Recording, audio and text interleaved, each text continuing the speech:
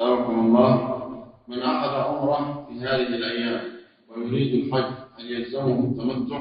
وإذا لزمه التمتع هل يصح له العودة إلى بلده كالطائف وجدة أم لا بد من جلوسه في مكة؟ ما يلزمه البقاء في مكة ولكن إذا سافر بين العمرة والحج فإنه ينقطع تمتعه فإذا قدم للحج يأتي بعمرة جديدة بدل السابقة ليكون متمتعا نعم